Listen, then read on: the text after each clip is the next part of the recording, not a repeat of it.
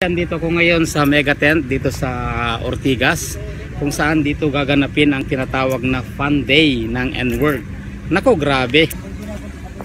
Parang panaginip pero ah, talagang totoo na itong N-Word.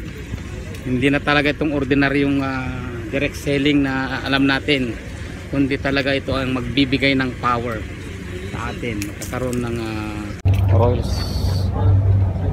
Oh, grabe. Ferrari.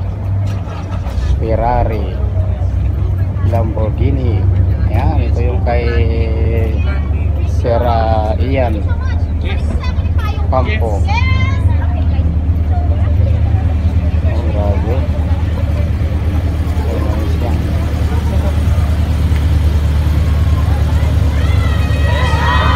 yan totoo yan na si Sir Ian grabe akala ko sa video lang ngayon live na siya yan, so yan. Oh, Lamborghini. Ako, grabe. Grabe, ang dami mga sakyan, no? Lamborghini. Ang dami, ang daming luxury car dito sa N-World. Wow, for the first time. Ngayon lang ako nakakita ng uh, ganito kadami na luxury. Ito, nakakamaro, dating nagbibenta ng fishbowl. Ayan, si Sir...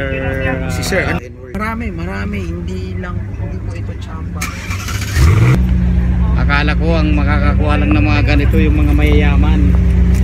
Ngayon, posible pala dito sa N-World. Ang tindi. Ilang minuto na ako nag-video. Yan. Oh. grabe oh.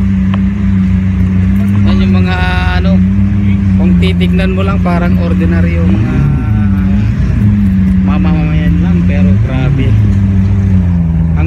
ang pagkakaroon ng isang luxury car ay ibang iba na. Oh grabe at tunog oh. Anong palang tunog ng ah, Lamborghini? Oh hindi oh.